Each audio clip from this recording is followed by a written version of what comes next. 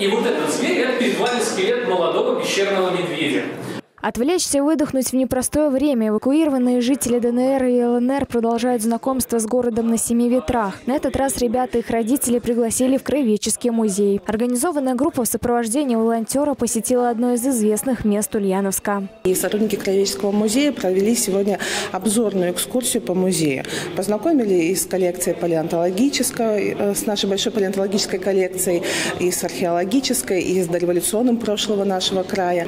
А, вообще Краеведческий Исторический музей подготовил большую программу, и мы рады видеть и э, маленьких э, гостей города, и взрослых. Маленькие гости музея смогли почувствовать себя в роли ученых, самостоятельно откопать скелет динозавра в палеонтологической песочнице. Взрослых и детей познакомили с фауной Ульяновской области. Ну, мы здесь сегодня на выставке с дочкой. Как бы первый раз находимся на такой выставке. Очень интересно. Дети в восторге все. Я смотрю, и маленькие, и большие.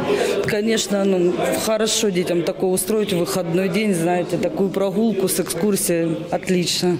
Всего для вынужденных переселенцев в Кровеческом музее подготовили 300 пригласительных билетов на два лица. По ним в ближайшее время эвакуированные жители ЛНР и ДНР смогут также посетить музей Гончарова и литературный музей Дом Языковых. Алина Тихонова, Даниил Сурков, Улправда ТВ.